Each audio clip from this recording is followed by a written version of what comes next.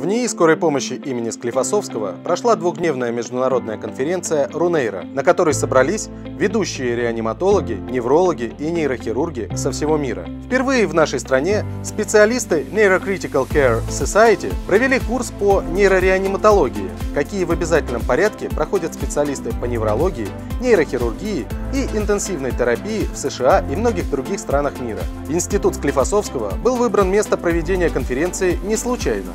Склиф является э, лидирующим учреждением в России по экстренной медицинской помощи, в первую очередь, конечно, по травме, по нейрохирургии, по нейрореанимации. Вот, поэтому, э, ну, наверное, логично, что э, такой курс состоялся здесь. В ходе конференции прозвучали лекции ведущих специалистов по нейронаукам из разных стран. На самом деле, нам уже сейчас повезло пообщаться. Мы обменялись мнениями со специалистами вашего центра.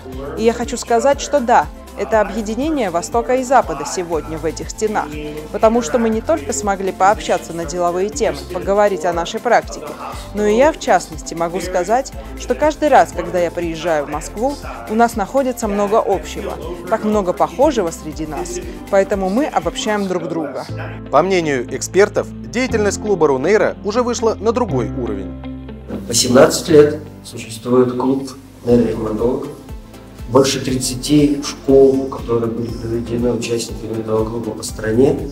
И вот, наконец, к нам приехали, признав существование такого профессионального сообщества, сюда приехали уважаемые профессора из э, Североамериканского общества специалистов по нейрореанимации.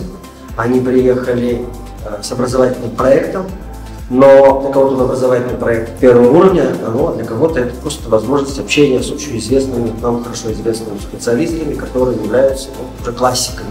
Среди участников представительного форума было очень много молодых специалистов. Я хочу сказать, что будущее на самом деле яркое, и нас ждет впереди много работы. И самое важное для молодых специалистов – это участвовать в научной деятельности, обязательно сохранять этот вопрос и интерес в своей голове, задавать этот вопрос и исследовать его, потому что будущее подразумевает то, что каждое следующее поколение, в том числе поколение специалистов, должно быть лучше, чем предыдущее. В дни работы конференции в стенах НИИ скорой помощи имени Склифосовского была проведена уникальная операция – имплантация внутримозговых электродов для стимуляции глубинных структур головного мозга. А кроме того, состоялась школа по искусственному питанию нейрореанимационных пациентов.